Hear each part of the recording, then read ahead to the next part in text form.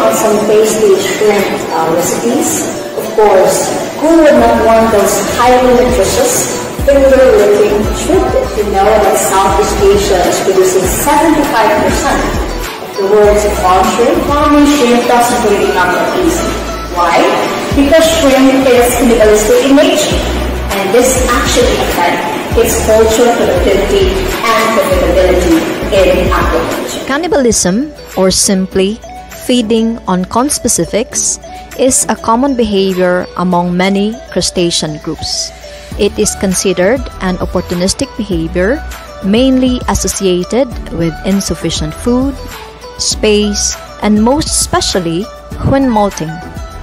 Shrimp, when undergoing molting, are particularly vulnerable to cannibalism mainly because molten shrimp are immobile and soft until completion of the hardening process of the new carapace. Now, to mitigate impact of cannibalism in shrimp aquaculture, there have been several strategies employed, including the provision of shrimp shelters or commonly artificial substratum.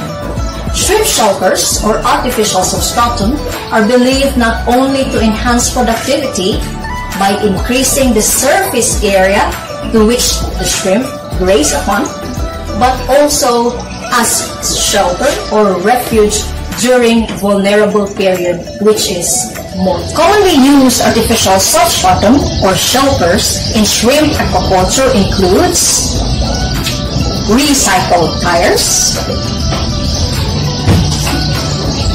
recycled containers, and commonly the PVC frames or tubes. Notice that all these materials are non-biodegradable.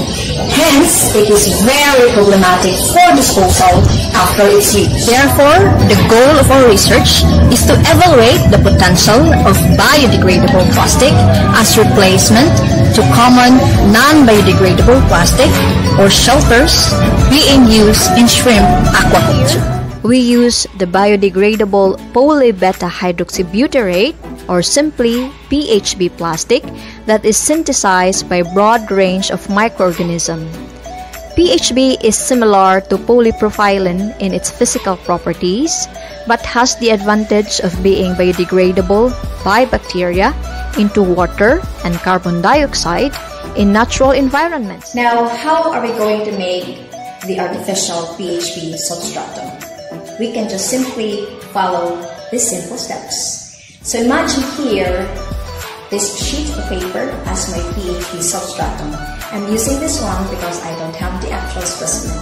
So what I'm going to do is to make a cylindrical hollow tube out from this paper.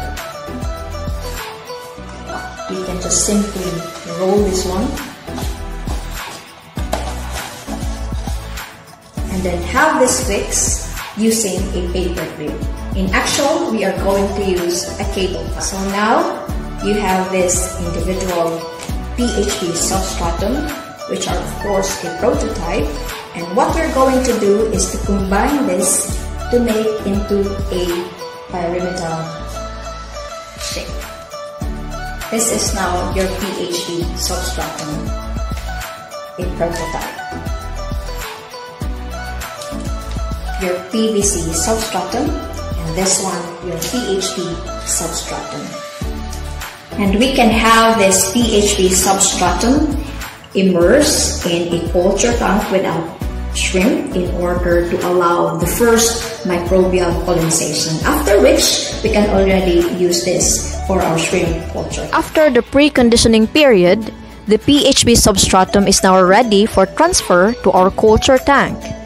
Upon our findings, use of PHB substratum could decrease range between the shortest or the most lightweight shrimp and the longest or the most heavy shrimp of at least 8%, plus higher survival as compared to shrimp reared using non-biodegradable artificial substratum. Enjoy shrimping!